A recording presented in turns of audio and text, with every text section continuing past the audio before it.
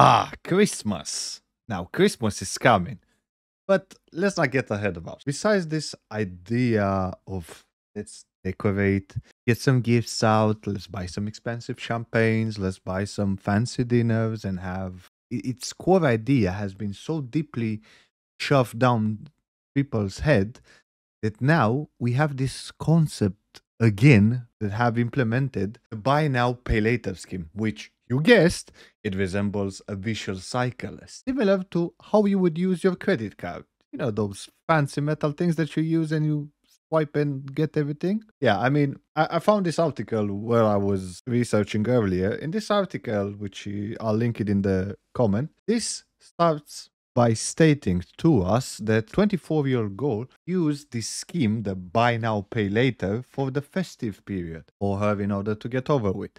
I mean, you could pay it off at the end of the month, similar to a credit card. Okay, okay. Let's just say, okay, I get that. Fair enough. Maybe you're struggling or maybe you're having some issue. However, why would you go and pursue these lengths of getting yourself in debt for a bag, perfume, or whatever insignificant things you tend to buy? I mean, why? When a lot of people, besides family, that let's just say you get them a small thing, and let's I can tell you that don't care unless they're their friends or you want to impress cares. Just to quote you some famous dude from Fight Club, you literally do a job that you don't like so you can buy things we don't need with the money we don't have and to impress the people we don't like. I mean, this this quote is so old but yet it still resonates. You can say, yes, it's controversial, oh my God, but so beautifully said and placed that I can tell you that the rationale behind it, and besides all the gifts that you start chugging around for no reason, maybe they end up in a bin after a month. So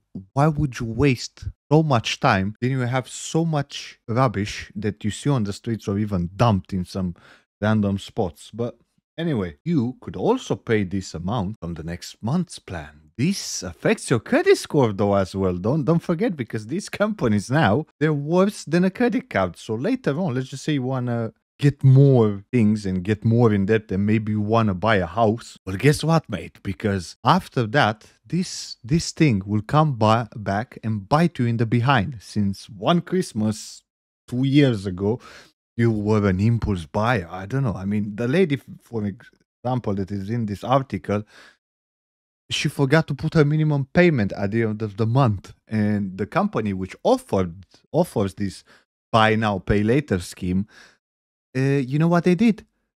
They started sharing her information with the credit agencies about her failure to pay. Well well well well. The reporters are mentioning always that to the repayment should be both affordable let's add some quotation marks here, uh, imaginable to pay them. But even if you forget to pay the minimum amount back with time, let's just say, you can't say goodbye to your dreams because, fellas, there's a thing now. Credit cards and credit agencies will not hesitate to hit you when your world is spinning the best. So even the government, which said back in 2021 that they will regulate these things, but nothing yet has been done. So if you see them doing that, I mean, I doubt because they're still having issues trying to regulate these issues, these problems. However, that's that's that's the main point. Why would you do that? Why? I know Christmas is coming. I like the idea of Christmas, the concept, but it was because of family. That you stay and you spend some time with family. But other than that, I don't believe in Christianity. I don't believe in Jesus. So deep down, I don't know. Maybe it's this concept that stood with us over time for no valid reason. And yet we reached in UK 2023 a milestone that you can go buy gifts, buy random things that you don't need and won't probably use to get in debt for some random people. Whereas just leave them be. Buy something small, buy something, I don't know. Send them an email, make them a PowerPoint presentation, make a video, I don't know.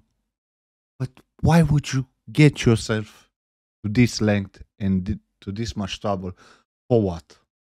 Anyway, that's been a lot of covering and being off topic. Adios.